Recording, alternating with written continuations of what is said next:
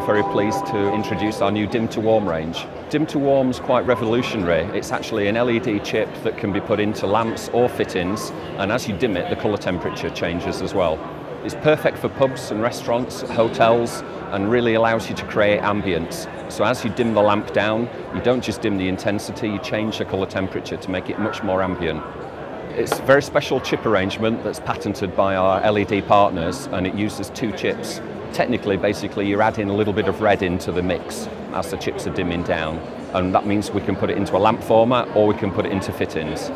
The way that it's installed is generally into hotel and leisure applications. So the technology means you can put it straight into a lamp. Ideally, it's for retrofits. So we can take an old lamp out, put a new lamp in with dim to warm, and it will work on the existing dimming circuit and provide that extra ambience straight away.